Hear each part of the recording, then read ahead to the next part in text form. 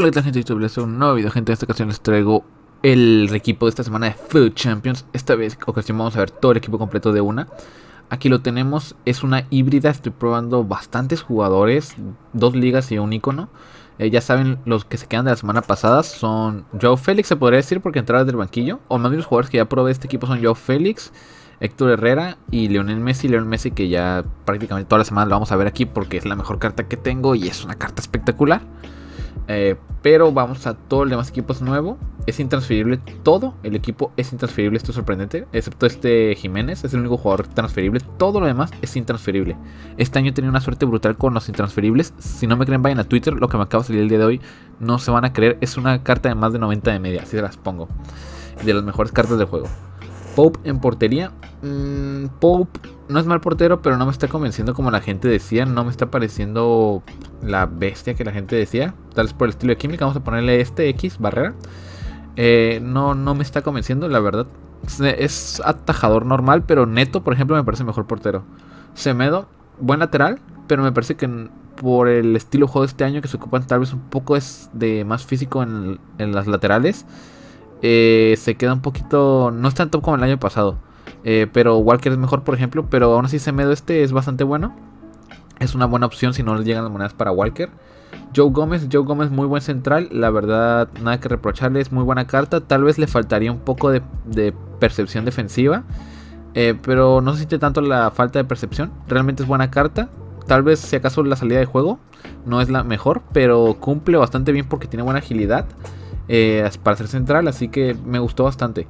Este yo Jiménez, José María Jiménez Rule Breaker, mm, se siente un poco tosco en ocasiones. Es su principal defecto. La verdad, sí se siente a veces la falta de agilidad en este jugador. Pero al choque es brutal porque tiene mucha fuerza. Aparte, es un jugador muy contundente en la defensa.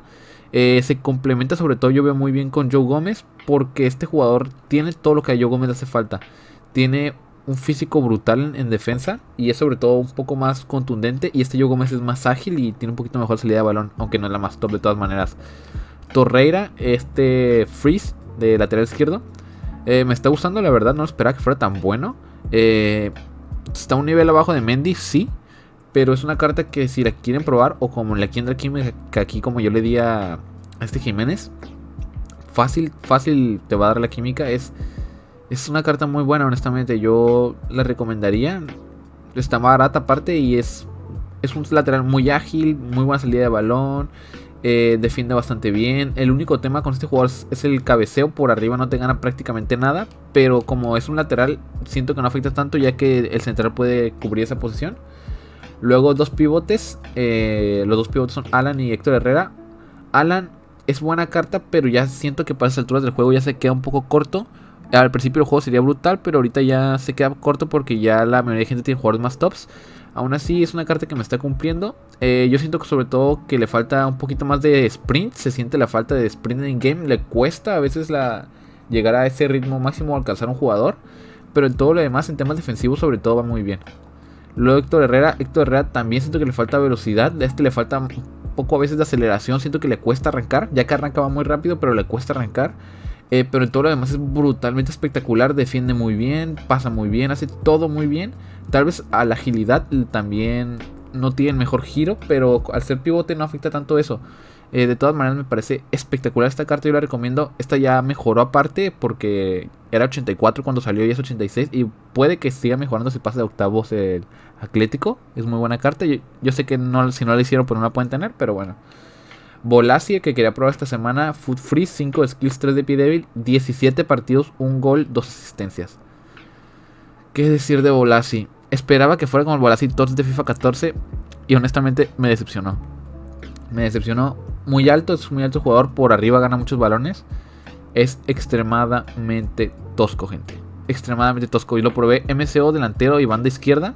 La mejor posición es banda izquierda porque le ayuda, le puedes tirar un pelotazo largo y tiene un ritmo aceptable, así que puede llegar a los balones.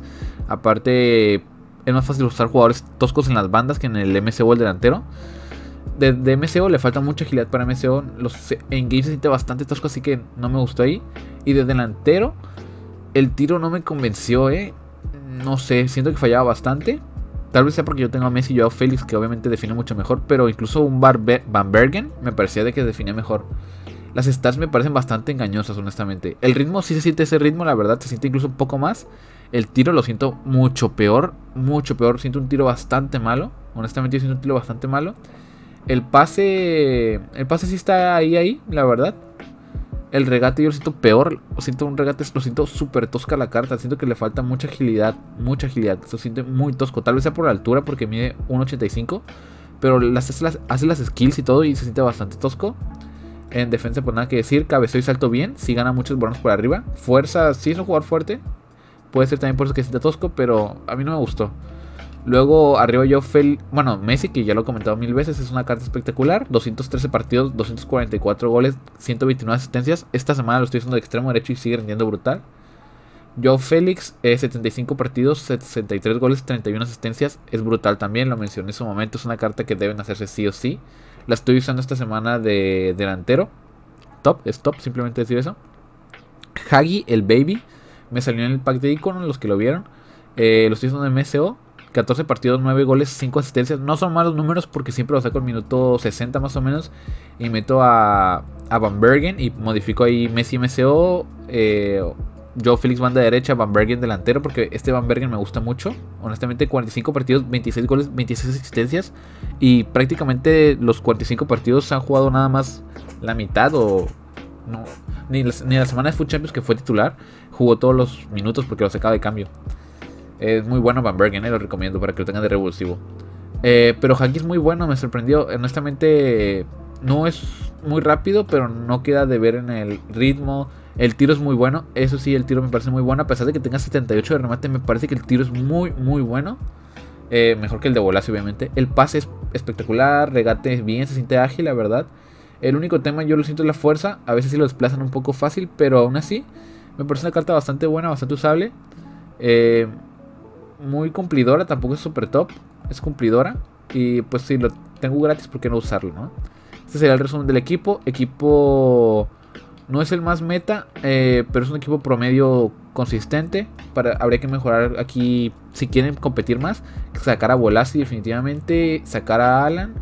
Y Pope yo lo cambiaría, buscaría otro portero honestamente. Serán para mí las tres posiciones a reforzar. Aunque Pope es cumplidor. Pero es que Neto me parece una bestia, la verdad. Y tal vez aquí Walker. Este es importante aquí Walker. El mejor que se me da Walker, sí. Honestamente sí. Pero bueno, gente, una vez dicho eso, vamos a los dos partidos que del resumen del día de hoy. Bueno, no el resumen, pero de la presentación del equipo del día de hoy. Y comenzamos con este primer equipo. Eh, una alineación un poco rara que he visto que estamos usando últimamente, que es una 4-1-2-1-2. Eh, por ahí una híbrida Premier, Liga Santander. Un poco extraña, honestamente, porque no sé, le faltan ahí links y todo. No, no veo por qué hizo esta híbrida el rival. Pero bueno, minuto 34. Aquí tiene esta jugada interesante. Bruno la toca para Martial. Y Martial me notaba el go. Paul Pope no, no sé por qué se tiró al otro lado. Pero bueno, ese es otro tema. Aquí jugada con Bolasi. Bolasi para Hagi. Hagi aquí buscaba el espacio. Tocaba de tacón para Joe Félix. Y Joe Félix iba a sacar aquí un pasito para Messi. Y aquí donde saca una jugada Joe Félix que se quita prácticamente toda la defensa. Y tiro brutal, espectacularmente pegado. Joe Félix, si no lo han hecho, yo les recomendé que lo valían. Si es buena carta. Luego Van Bergen, que lo metí de revulsivo como les mencioné. Van Bergen aquí se quita a la defensa con una skill bastante lenta. Pero vean el tiro que saca Van Bergen. Tiene una definición brutal de este Van Bergen. Mete cada golazo, gente. Y con esto nos llevamos la victoria. Pues 1-2. El partido merecido. 60% de posición nosotros. El rival únicamente 40. Siguiente partido contra este equipo un poco más sólido. Es una Premier tampoco es la más top, pero ya tiene jugadores más competitivos. Eh, tiene, tiene buenas cartas, aunque no entiendo por qué usar a Cancelo de central cuando es una carta que de central no te va a rendir nada. Pero lo que es nada. Pero bueno, la porta aparte, eh, para mí su principal desventaja de este rival era la central porque realmente no jugaba mal, pero tenía una central bastante débil. Vamos, minuto 75. Hasta el 75 pude entrarle y pues fue con Messi este golazo de Messi. Obviamente Messi una cartaza. El rival era bastante bueno, pero eh, la central, como digo, ahí flojeaba y pues nos llevamos la victoria 1-0. Resumen bastante corto. Empezamos 2-0 al Food Champions. Vamos a ver cómo lo terminamos. No creo, o sea, espero llegar a Oro, 1. Elite no creo llegar, pero bueno, vamos a ver dónde logramos llegar esta semana. Y pues bueno, hasta aquí está el resumen. Bueno, no el resumen, la presentación del equipo esta semana. Mañana o el día lunes vendrá el resumen. Y pues bueno, gente, hasta aquí está el video de hoy. Y hasta la próxima. No olviden dejar su like, comentar y suscribirse. Y pues síganme en mis redes que están en la descripción, Twitter y Twitch.